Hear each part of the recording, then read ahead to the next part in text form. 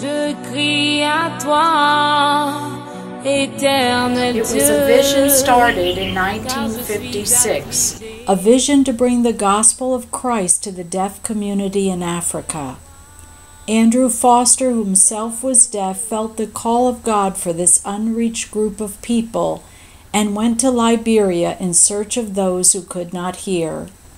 He was told by educators and missionaries that there weren't any deaf people, but this really was not true. Deaf people just weren't allowed to be seen. They were kept hidden away in villages, branded as demon possessed, and used as household servants. But Dr. Foster had a vision.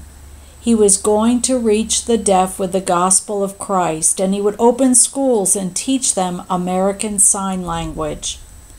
Today, over 50 years later and 30 years after the homegoing of Dr. Foster, the vision lives on. It came to life again with a team of six from the deaf community of the Salem Alliance Church. Today, most of the stereotypes still exist. The sadness in the children's faces, the heartbreak of the mothers who were scorned for giving birth to such a child.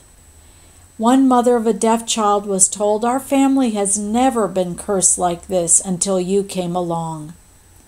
Jesus Christ came to open the ears of the deaf, to break the stereotypes, and he has commanded us to do the same. How did the deaf community respond? First of all, they could hardly believe that three members of the team, John, Julie, and Margie, were deaf. The enthusiasm the students demonstrated in the classroom as they intently watched everything and strained to understand, the delight when they figured out a story like the Good Samaritan and could act it out for themselves, the thrill when they were accepted into the Alliance Church on Sunday morning with hands waving in the air, when they could chat over a lunch plate of rice and sauce and see that someone really cared about them, enough to travel halfway across the world to bring them the truth of Jesus Christ. How did families respond?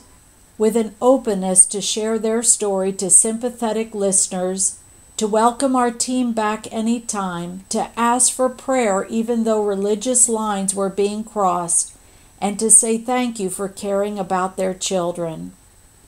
How will Andrew Foster's vision continue?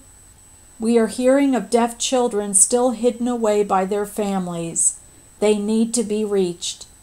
He who gave this vision to Dr. Foster will continue to bring others to explain the way, the truth, and the life to those who cannot hear a sermon, a radio broadcast, or a neighbor. Pray that at least one church in our city would be willing to have a ministry to the deaf community. Jesus Christ is the only name by which people can be saved.